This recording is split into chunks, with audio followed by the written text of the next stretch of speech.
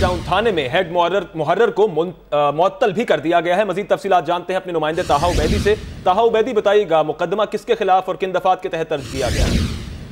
जी, Orangi town का इलाका है, जहाँ पर पुलिस पार्टी ने एक मंशियात के अड्डे पर छापामार कार्रवाई की थी। वहाँ पर मौजूद सादा लिबास एहलकारों ने, जो पुलिस पार्टी जिसने छापा मारा था, उस पर फायरिंग की और फायरिंग के तबादले में एक पुलिस एहलकार जख्मी हुआ जिसके बाद आला पुलिस अफसरान ने इस वाक्य का नोटिस लिया और ये बताया गया कि मंशात का अड्डा पुलिस अफसरान की सरपरस्ती में चलता था। जिसके बाद अब हेड मॉरर को मौतल कर दिया गया और बाकायदा इस वाक्य का मुकदमा दर्ज कर लिया गया है जी।